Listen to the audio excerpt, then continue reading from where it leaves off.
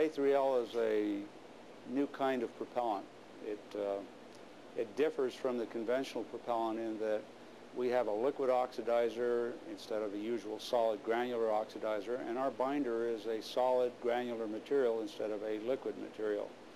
Uh, other ingredients are similar, of course, like aluminum and uh, burning rate additives.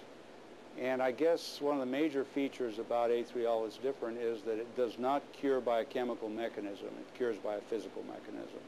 The major thrust for working with A3L is that the propellant doesn't generate any hydrochloric acid when, uh, when it burns. And right now there's a tremendous push by environmental people uh, to get rid of propellants that generate hydrochloric acid, particularly for shuttle launches, because they're afraid of what it'll do to the ozone layer as well as the environment immediately surrounding the area where the rockets lift off.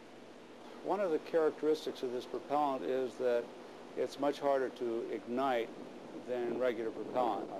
This propellant takes something on the order of three minutes in a kerosene fire to start burning, whereas our conventional ammonium perchlorate-based composite propellants ignite immediately.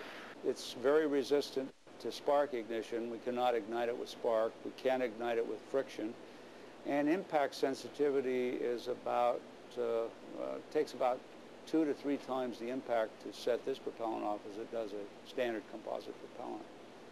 So this is serendipity. It turned out this way. The propellant just happened to have these characteristics and Uh, works in our favor, particularly for large boosters.